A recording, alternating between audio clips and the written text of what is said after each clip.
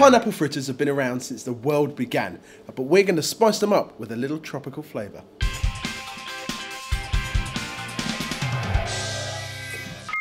Today's hot dessert starts with pineapple rings, which we're going to take and seep in rum.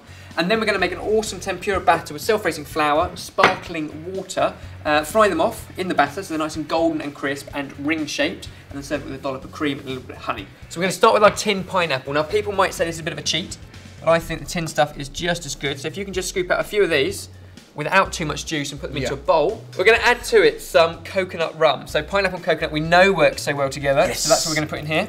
It's like flavours of the Caribbean, isn't it? Tropical indeed. Yeah. There we go. And some brown sugar. So we're going to leave them in there for a little while to absorb all of that rum. Now this is the crispiest, beautifulest batter ever. It's not a word. It is a word. I just said it was. There we go. Self-raising flour. And to that we're going to add sparkling water. Now the key to sparkling water Fizzy. fizzy, which is good. It makes it a very light batter, but And also water. ice cold.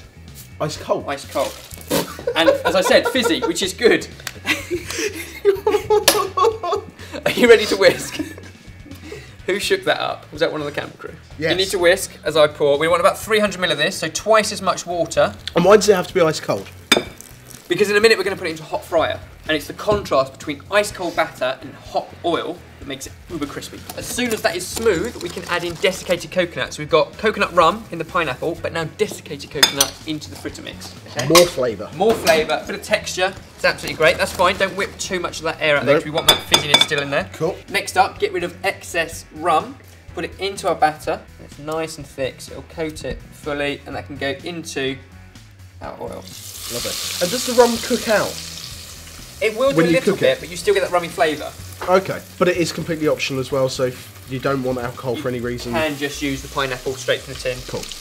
With three in there frying, we need to leave them for about three or four minutes. We can flip them over halfway through because they will tend to float in the oil. What are you doing? and then we can show you how crisp they are.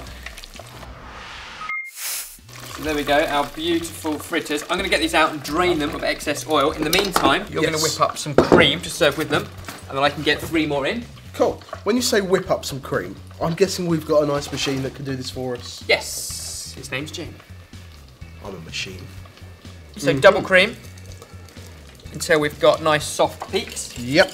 What I really think you could do with pineapple fritters is mix them up with some onion rings, just to confuse people. Do you not think? I think that would be cruel, but yes, you could. Yeah. There we go, last couple. And now all that's left to do is plate it up. So you've got the cream, mm. so plenty of these beautiful crispy Oh yeah. fritters. Could we not put in some coconut rum into the cream as well? We've done that before. You can do, but I think there should be enough on the, on the pineapple Okay. that it's not necessary. But you can, of course. It's better my way. Nice dollop of cream, Oh, which begins yes. to ooze. Drizzle of honey. Wow. That is a dessert. Beautiful, and plenty to share around. The finishing touch is a sprig of mint. So there we go, our beautiful pineapple fritters with a hint of rum, sorted.